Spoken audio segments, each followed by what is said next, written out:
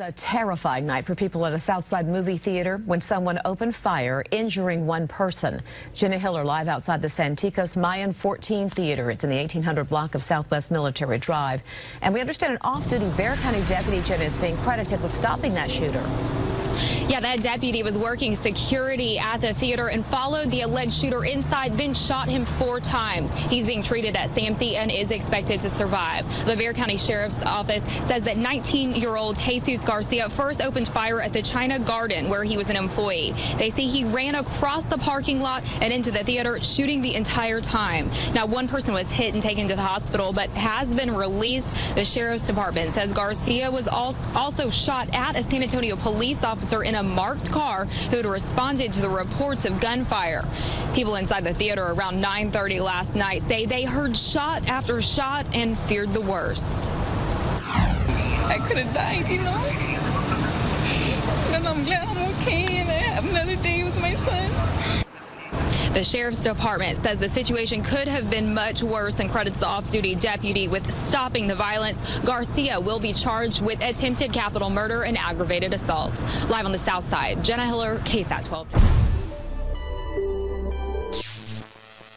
Hey, welcome back everyone. I'm Mat Larson, and that news recording that you just watched was from yesterday, and they're reporting on an incident that took place the day before on December 16th. So now we are two days removed from it, and I can't turn on CNN, Fox News, MSNBC, ABC without just seeing this all over the place. I mean, they're just talking about how guns are saving everyone, right? Oh, wait, never mind. They're talking about how guns are killing everyone. They're not reporting on stories like this. They're not showing that, you know what? Guns in the hands of good people stop more people from getting killed than guns in the hands of bad people do killing people. I think there's a little bit of a ratio showing that, you know what, guns do more good than bad. But the news don't want you to know that, do they?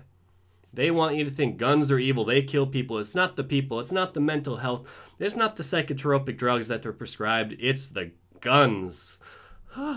we need to get them off the street. Don Lemon calling for all guns, bullets, and assault rifles to only be in the hands of police and those fighting Al Qaeda and the Taliban. Ooh, thank God. He said it should only be in places of battle. Luckily, the 2012 NDAA actually called the American country a battlefield. So, hey, you guys, keep your guns. But for now, I, got, I ask that you guys please thumbs up this video, share it with friends and family. If you're new to my videos, make sure you click that subscribe button so you can stay up to date on all the current political news. As always, I'm Mat Larson. Go Ron Paul. Peace.